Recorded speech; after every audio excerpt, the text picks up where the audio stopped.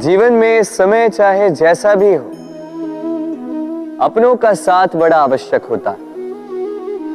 सुख हो तो बढ़ जाता है। दुख हो तो बढ़ जाता है। अपनों के साथ समय कब बीत जाता है पता भी नहीं चलता। है ना? किंतु सोचिए, यदि आपको किसी ऐसे स्थान पे छोड़ दिया जाए जहाँ आपका कोई संबंधी ना हो।